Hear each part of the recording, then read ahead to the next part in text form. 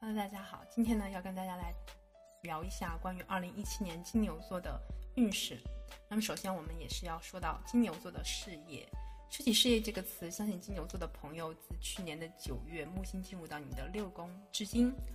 已经发生过非常多的让你不爽的事情，你的心里呢也会深深的感觉到很多的不公平。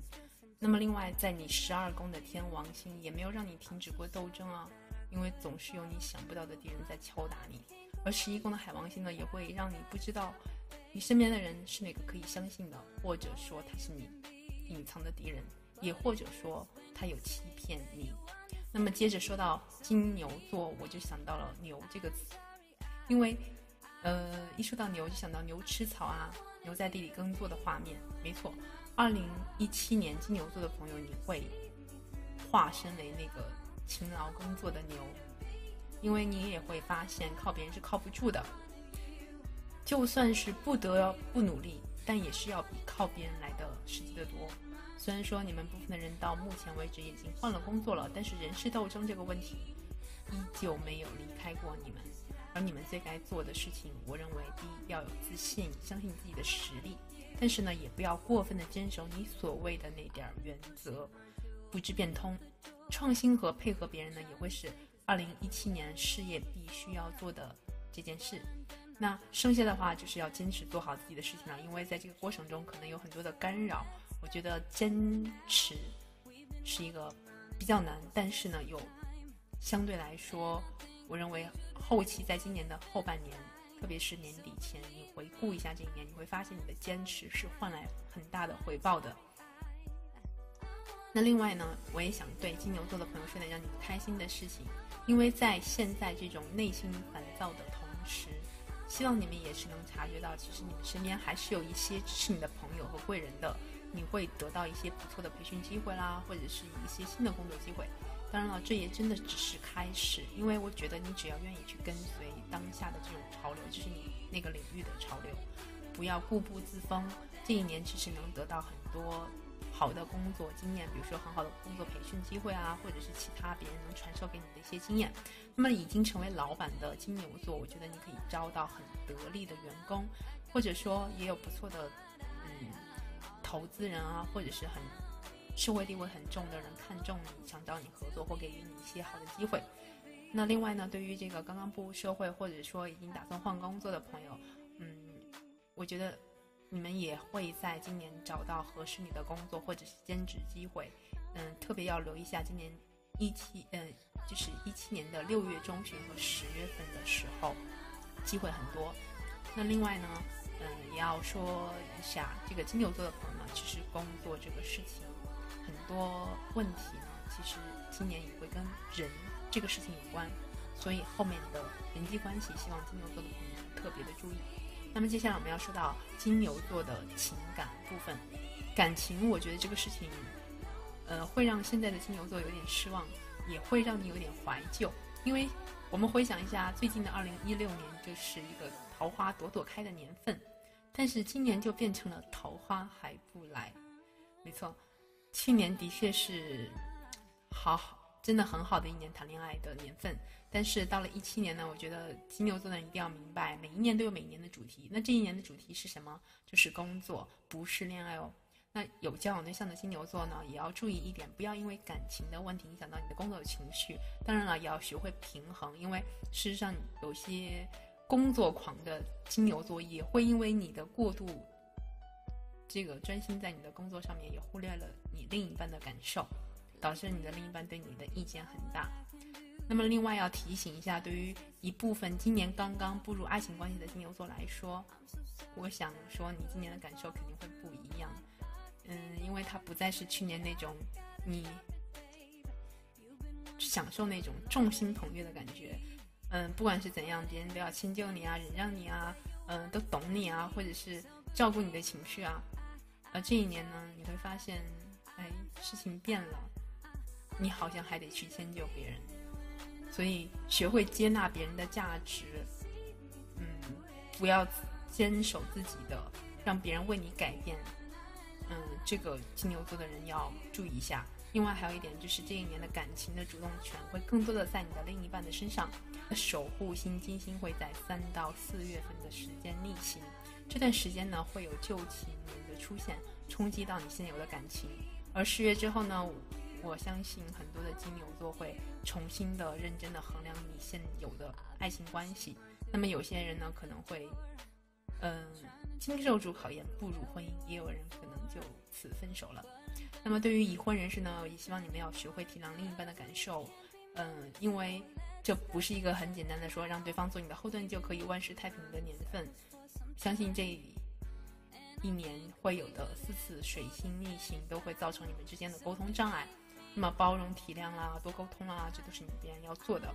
如果说你们的问题没有及时处理的话，那么十二月底之后就会酿成很大的矛盾，引发婚姻危机了。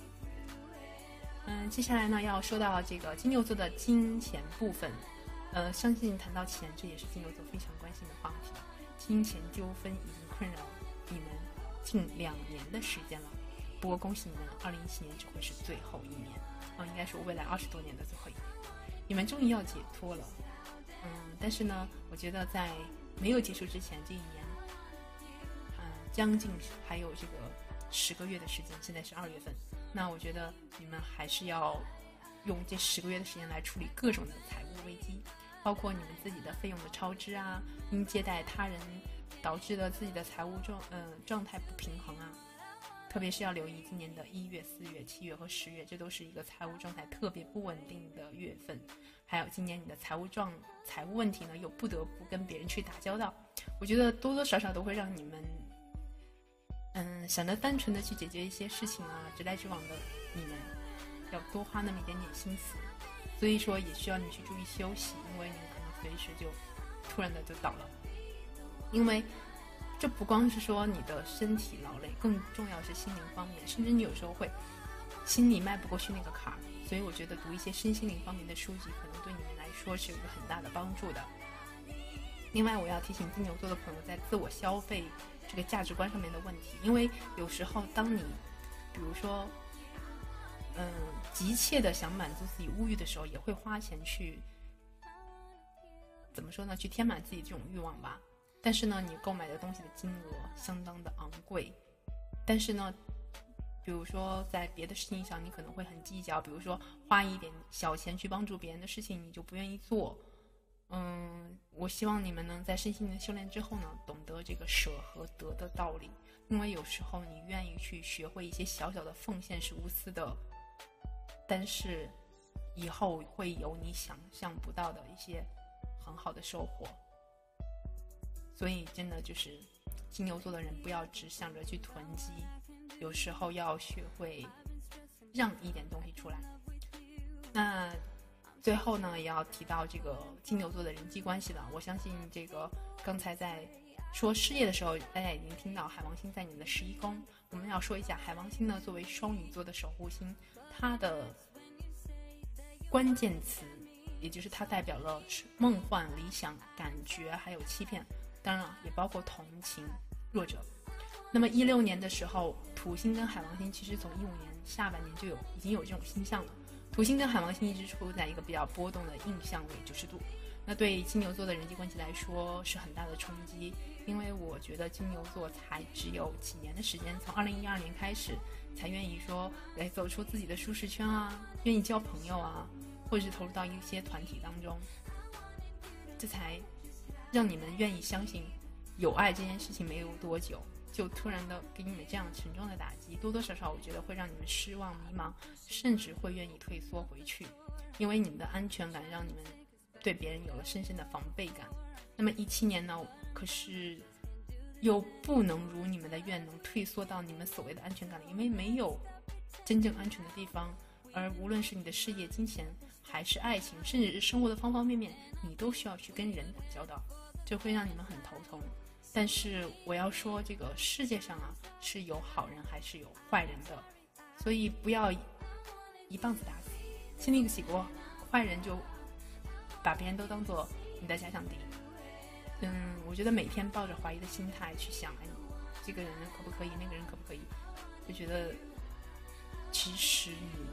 虽然看似是处在安全当中的，但也阻断了你跟这个世界交流的渠道，就是把自己的路给堵死了。所以要学会试着去相信别人，接受别人，站在其他立场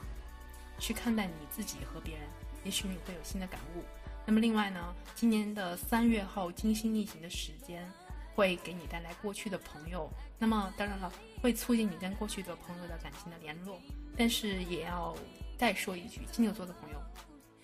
过去的安全，它其实是一个倒退的，因为人总是要去面对未知的东西，才会有收获。可是你们可能觉得。待在过去的关系当中就是安全的，然后因此呢又会更多的去怀疑，或者说更多的找一个理由去脱离现有的人际关系圈。我认为，这并不是一个很理智的想法或做法。其实木星在你的六宫呢，会为你带来非常好的职场贵人运。也许你们在初次的接触啊，或者说前几次接触不是很愉快。但是如果你愿意抱着一个开阔的心态去试试看的话，其实这些人给你带来的提升也不是过去的人能带来的。但是呢，这个你需要多多少少的放弃你的固执，愿意去多配合，其实最后你还是能尝到甜头的。好了，这就是关于二零一七年的金牛座的运势，希望大家能喜欢。